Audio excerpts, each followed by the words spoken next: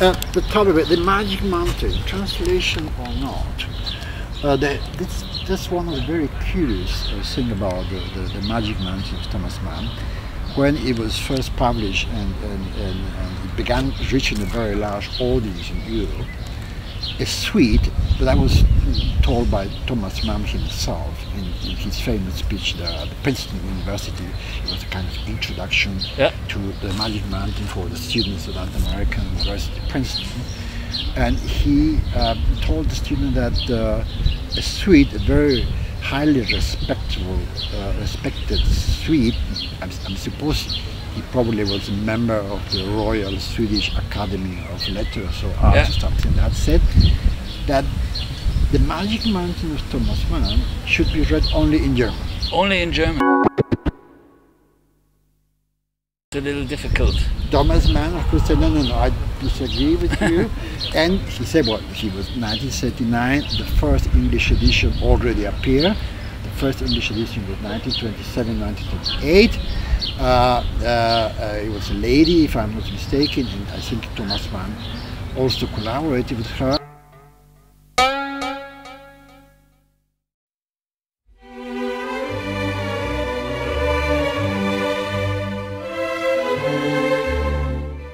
novel began to take flight also in the United States of America and England. Yeah. But the curious thing is that the Thomas Mann said, no, of course he has to translate.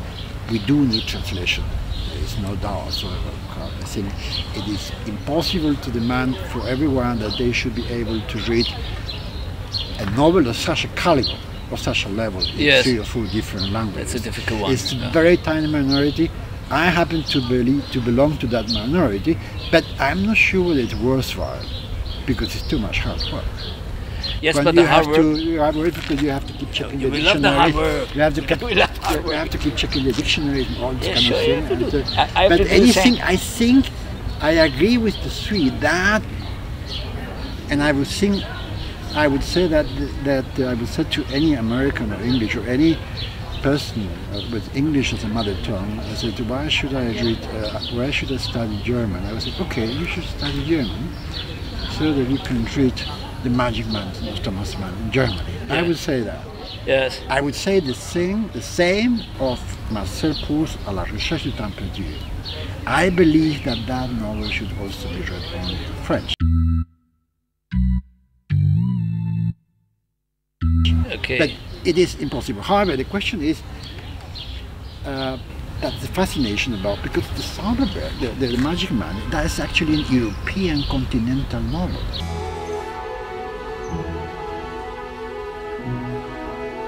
There are some mentions of some English and some American. Because of all, like all, these but all the different characters are these different different nations. There are only uh, Germans, Italians, Russians, yeah, that's right, yeah. Dutch. From time to time there is a French woman or a Swiss European, but Americans, English, uh, they are not there. Don't appear. Uh, so it is a, a very much a typical uh, continental European, continental German novel. Yeah. Uh, which I think that many English readers, particularly in Great Britain, perhaps also in the United States, they also find this, they, they, they, they keep finding that novel very fascinating.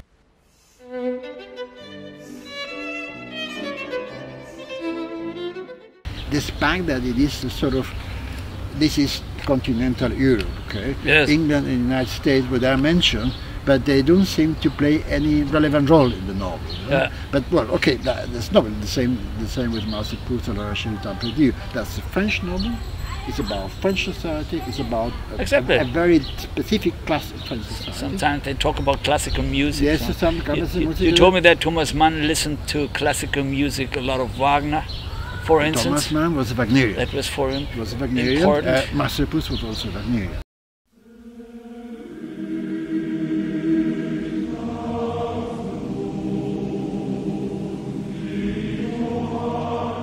Also. And that's why the two novels, if you look at it, to some extent, they Some have similar this, things. they have the sim- they have this the, the, the Richard Wagner's leitmotif Ah, yeah, with, the- with the people on stage. that yes, Some- that for every key Yes. character there is a specific music attached. Ah, yeah, okay. So that even if they are not on stage, when you hear the music, you know that that person is coming. What person comes? Okay, I think the same can be said of the Magic Mountain of Thomas Mann, perhaps. I think also of La Recherche d'un Perdu, of Marcel Proust, that they, they, they use this Wagnerian technique.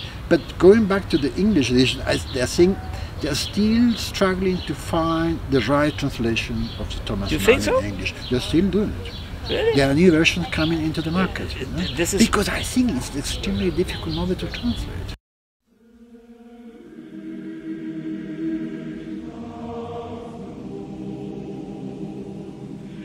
How are you going to translate Ewigkeitssuppe on plötzliche Klarheit?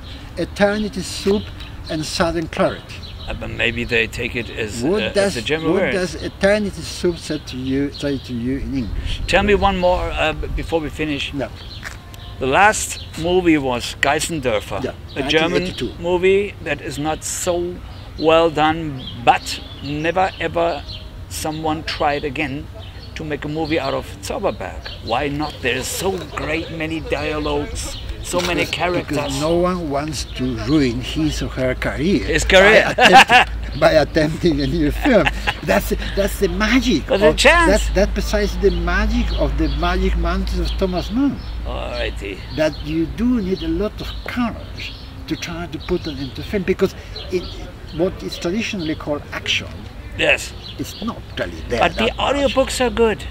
Is Well, the German audiobook very yes, good? the English also because that is this is a novel about dialogues and Yes. monologues about uh, people trying to uh, people constructing what in German in German is called uh, die Weltanschauung. Yes, they, you- they're yeah, trying sure, to yeah. reconstruct the world and to interpret the world, but being in the world, also die Welt anzuschauen, in der Welt sein. Genau, It's genau. not looking at the world from the moon or something like that. or For some, No, no. You look at the world while you are staying there. Okay. And that is why, that's I think what it does in Magic Mountain. I repeat, that's magic of this Magic Mountain. That and that's why I think that uh, no one has yet attempted the 1982. So we're talking about uh, 39 years ago. Yes. And how many films have been made of Jane Austen, Pride and Prejudice over the last 40 years? This is another chapter. Okay.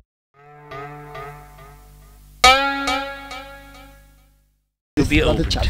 But let's Okay, let- let's thank mention- you. I do mention Jane Austen because I love her. So anyway, Okay, so let's, let's, let's close it. let's em- close it. platonically, uh, Okay, emotionally. This is Joshi and this is Juan Carlos Herken Krauer. Okay. Thank ladies you very and much. gentlemen, ladies and gentlemen, very thank you very much for your attention, and I hope you're going to learn something. Right? Good. Good.